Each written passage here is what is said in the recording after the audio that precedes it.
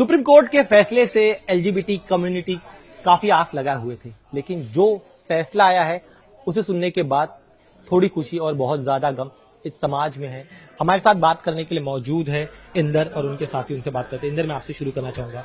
जिस तरह का फैसला दिया गया, उस पर आपकी क्या होप्स थे कि शायद होगा कि इतने साल हम लोगों ने स्ट्रगल किया है, पहले अपने आप को क्रिमिनल से नॉर्मलाइज करने के लिए। फिर अपने पार्टनर के साथ में, जैसे आप लोग सब लोग रहते हो, वैसे हम लोग साथ में निकले बट होप्स नहीं हारे। विल फाइट अगेन बिकॉज़ हम लोग आई थिंक हमारी जो लाइफ की जर्नी चालू होती है ना as L person we fight from the beginning मतलब स्टार्टिंग से ही हमको हर चीज़ के लिए फाइट करना पड़ता है। पहले अपने आप को समझने के लिए फाइट करना पड़ता है अपने से, फिर अपने फ्रेंड सर्कल में उनको समझाने के लिए। और ये जो वर्डिक्ट आया है आई थिंक कहीं ना कहीं हम लोग को था कि शायद हो जाएगा। बिकॉज़ इतना हम लोग अपने आप को कंपेयर करते हैं आउट बाहर के देशों के साथ में यूएस के साथ में कि आप हम उनके साथ में ग्रो हो रहे हैं। तो ये तो पिछड़ी दिमाग वाली बातें हो गई। तो फिर ये है कि अगर आप इतना बोल रहे हो कि हमको चलना है सबके साथ में आगे बढ़ना है तो फिर आप कितनी सोच के जाके पीछे जाके वापस मैं आपसे जानना चाहूँगा कि आप आपका क्या कहना है जिस तरह का फैसला है? सो ऑब्वियसली निराशाजनक है और बट लाइक ही सेड कि होप्स नहीं हारनी है। एंड सी जी आई की बहुत सारी बातें थी जिससे हम लोग भी सहमत थे इनिशियली जब सारी चीज़ें चल रही थी। एक एक करके सब चारों लोगों ने अपना जजमेंट uh, दिया। एंड समवेयर डीप डाउन लग रहा था कि at least certain things if not like a special marriage act में अगर कोई चेंजेस नहीं होते हैं, एक वो रिकग्निशन नहीं मिला एटलीस्ट बाकी प्रॉब्लम्स का कुछ एक सोल्यूशन मिलेगा and it's okay they have said की centre will prepare a committee to talk about the struggles so at least कुछ तो हो रहा है. इफ़ नॉट कि आपको एकदम स्ट्रिक्टली मना कर दिया गया है. So let's hope and if it has to be taken to the parliament we will fight for that and I mean बिना स्ट्रगल के कोई चीज़ मिलती है तो उसकी उतनी वो नहीं अहमियत नहीं होती है। सो मे बी शायद थोड़ा और स्ट्रगल अभी करना बाकी है। मैं अब आप लोगों से आपकी कहानी जानना चाहता हूँ। आप कहाँ से हैं? आप कहाँ से? एक एक कर अपनी कहानी बताइए। सो so, मैं तो मुंबई से ही हूँ born and brought up here roots roots MP से है। और I think two thousand ten में मैंने इंडिया का फ़र्स्ट गे स्टोर खोला था। तो तब से I was very out and because Celina Jaitly को थोड़ी क्लोज फ्रेंड रही है तो उसके चक्कर में ना मतलब वो हर बार गे राइट्स के लिए जाती थी धरना करने तो हम साथ में जाते थे। तो एक वो एक हिम्मत था कि हमारे खुद के लिए हमको फाइट करना है। एंड वो रहते रहते हमने बैंगलोर गया था अपने स्टोर को प्राइड के लिए स्टोर के प्रमोशन के लिए। तब मैं वहाँ पर इनको मिला था वहाँ ये बैंगलोर में वहाँ पर जॉब करते थे। अच्छा, तो बताइए। उस बात को भी नहीं नहीं करके अगले अभी ग्यारह साल हो गए अच्छा तो ग्यारह सालों से आप लोग साथ में हैं। आपकी आ, आ, आपका बैकग्राउंड क्या है? घर का बैकग्राउंड क्या है? आपकी जब पहली मुलाकात हुई इनसे तब क्या फीलिंग थी? तो uh, मैं पेशे से सॉफ्टवेयर इंजीनियर हूँ। We I am working in a software actually in a shipping company and I am leading the IT department over there और कमिंग फ्रॉम आईटी तो obviously Bangalore is the Silicon Valley of India तो that's where I was जब मैं इनसे मिला। और उसके बाद uh, इनके लिए इनका पूरा base was Bombay and from N I T background आपको मालूम होगा कि हम लोगों के लिए जगह शिफ्ट करना इज़ वेरी इजी सो मेरे लिए काफ़ी इजी था टू शिफ्ट टू बॉम्बे जब हम मिले तो बहुत अच्छी बात ये थी कि हम दोनों लोग अपनी लाइफ में सेम पेज पे थे. हम दोनों लोग we were looking to settle down हम दोनों लोग पार्टनरशिप uh, ढूंढ रहे थे कंपेनियनशिप ढूंढ रहे थे. और I don't know I mean it just happened कि हम लोग एक दूसरे से मिले एक दूसरे को पसंद किया एक दूसरे के बारे में जाना समझा फिर एक डिसीज़न लिया कि हाँ ओके okay, आगे अभी नेक्स्ट स्टेप पे जाते हैं। So then... मैंने था कि वो बैंगलोर में बॉम्बे है। फिर छह महीने के बाद ये बॉम्बे शिफ्ट हो गए अपने जॉब को लेके। फिर धीरे धीरे करके साथ में रहने लगे। फैमिली इंट्रैक्शन हुआ। अब दोनों family are okay with us they सबको पता है हमारे बारे में। सो बस ये कि लीगैलिटी नहीं होता तो उनको भी ऐसा लगता है यार, हम लोग भी कैसे ओपनली करें? तो थोड़ा सा एक वो होता है कि अगर हो जाता है आज तो शायद वो और इजी होता हमारे लिए। और ये सिर्फ़ हमारे लिए नहीं, ऐसे बहुत सारे पेरेंट्स हैं आई थिंक उनके लिए अपने बच्चों को समझना, उनको और खुल के सपोर्ट करने में थोड़ी और हेल्प होती है।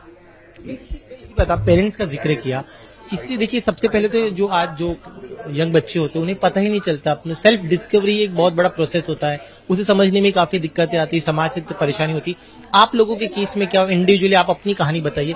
क्या, कैसे आपने खुद को डिस्कवर किया, उसके बाद क्या क्या चुनौतियों का आपको सामना किया मैं, जैसे मैंने बोला, मैं मुंबई से हूँ। तो I grow up in Mumbai के स्लम्स में। एंड uh, जब कोई स्लम्स में कोई बच्चा अगर थोड़ा सा डिफरेंट होता है ना तो द लाइफ इज़ बहुत डिफरेंट होती है। मतलब उनका जो स्ट्रगल होता है वो हर किसी बच्चे से थोड़ा ज़्यादा होता है। एक तो वहाँ के लोगों को समझ में नहीं आता। इट्स इजीली एक्सेस है। And I lost my dad जब मैं तीन साल का था। तो एक वो भी हो गया घर में कोई जेंटलमैन नहीं है कि जो थोड़ा कंट्रोल कर सके। है तो काफ़ी डिफ़िकल्ट रहा है चाइल्डहुड एंड आई थिंक वो जितना डिफ़िकल्ट रहा है उतना ही मुझे स्ट्रांग करते गया है। कि मेरे को जितने भी लोगों ने जो जो सताया था जो जो मैंने सहा है वो मुझे मेरे, मेरा स्ट्रांग बिल्ड होते जा रहा था स्ट्रेंथ कि मैं इसको और फाइट अच्छे से कर सकता हूँ। देखो आज हम लोग मैं खुल के मीडिया के सामने आके अपने बारे में अपने पार्टनर के बारे में अपनी लाइफ के बारे में खुल के बात कर सकता हूँ। अगर वो स्ट्रगल नहीं होता वो फाइट नहीं होती तो शायद उतनी हिम्मत ही नहीं होती आगे आके बात करने की। और वो इसलिए है कि मुझमें है वो हिम्मत में आके बात कर रहा हूँ, पर मेरे से काफ़ी बच्चे हैं, जो अभी के जनरेशन में भी वो इतना ही प्रॉब्लम सेव कर रहे हैं, पर उनके पास में वो नहीं है आके बात करने का। तो इसके लिए अगर हम लोग करें तो मे भी हम लोग अभी भी अगर आज नहीं आया ये वर्डिक्ट हमारे लिए फ्यूचर में आएगा, पर वो मे भी हम लोग तब तक और बुरे हो जाएँगे। तो वो हमारे आने वाले जनरेशन के लिए हेल्प हो जाएगा। बस। हम ज़रिया बन सकते हैं किसी और के लाइफ में कुछ चीज़ें चेंज कर पाने का या कुछ उनको हेल्प कर पाने का तो क्यों नहीं? लखनऊ से है तो देखिए मुंबई में होने के बाद जब इन्हें स्ट्रगल इतना फेस करना पड़ा है लखनऊ में उस समय क्या परिस्थितियाँ आती किस तरह की चुनौतियों से आप डील करते हैं और आपने सेल्फ डिस्कवर कब किया? हाँ सो so, मेरे साथ क्या हुआ मेरे घर में एजुकेशन के ऊपर बहुत एम्फोसिस रहा है and I feel very privilege कि मेरे माँ बाप ने मुझे और मेरी बहनों को पढ़ाया और इस काबिल बनाया कि आप अपने इन्फॉर्म डिसीजंस खुद ले सको। और मेरा सेल्फ डिस्कवरी का जर्नी कॉलेज से शुरू हुआ एक्चुअली एंड कॉलेज में uh, मेरा एक बहुत क्लोज फ्रेंड अभी क्लोज फ्रेंड है uh, उस टाइम पे मैं उसको उतना अच्छे से नहीं जानता था। And he was from the community and he was out and open back then in college Lucknow की बात कर रहे हैं। नहीं नहीं this is college in Manipal अच्छा मणिपाल या I did my engineering from Manipal so his name is Tushar and I had like मतलब कुछ पाँच छह घंटे तक हम लोगों ने विस्तार में बात किया है। एंड उसने मुझे बहुत सारी चीज़ें बताई कि जेंडर और सेक्सुअलिटी के बीच में डिफरेंस क्या होता है how is it a spectrum and then उसने बोला कि तुम इसके बारे में पढ़ो। ज़रूरी नहीं है कि तुम्हारा इंक्लिनेशन अगर किसी तरफ़ है या तुम्हें लगता है तुम्हारा प्रेफरेंस ऐसा है तो तुम वैसे हो। तुम पहले पढ़ो खुद को खुद को समझो।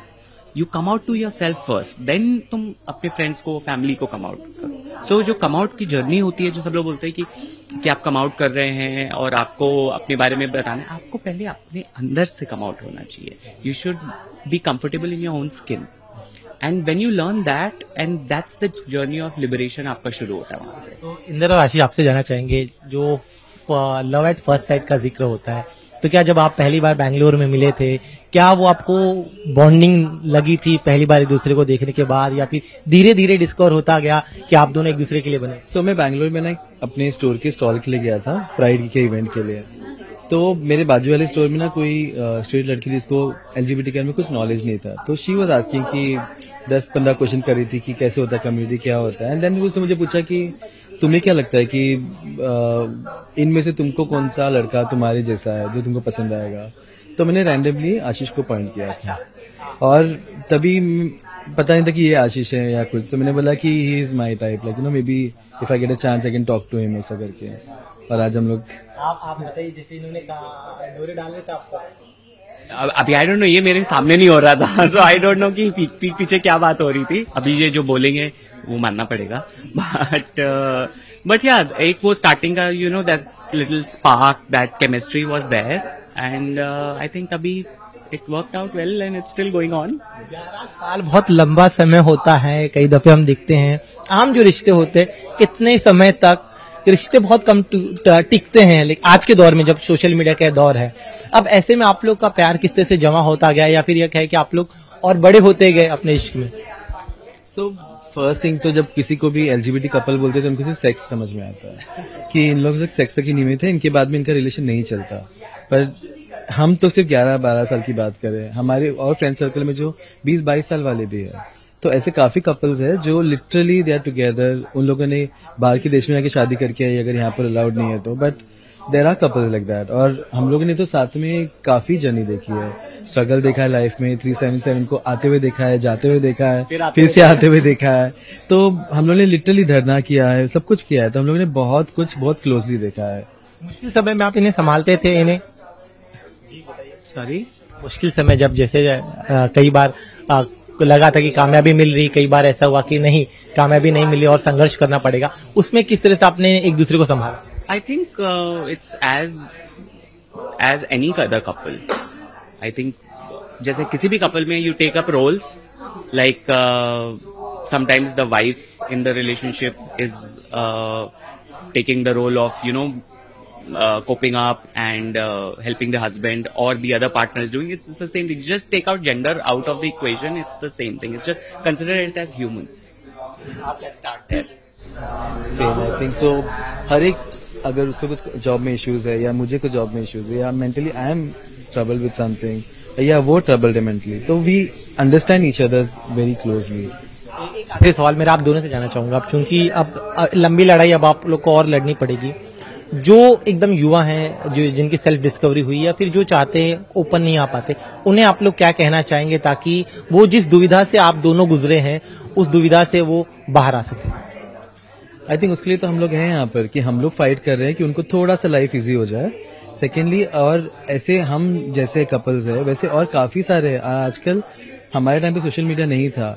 अब इतना इजीली अवेलेबल है कि anybody can connect with any तो वो अगर किसी भी जगह पे कोई अटके है या कुछ इश्यू चल रहा है मेंटली या फिर physically is getting abused so it's very easy to connect with us or with so many other organizations. It's very easy to seek help now.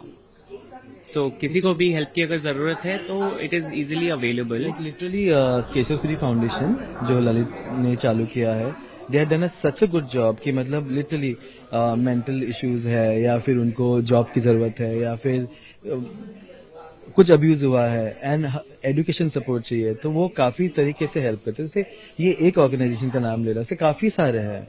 लड़ा- लड़ाई के लिए लंबी लड़ाई के लिए तैयार है?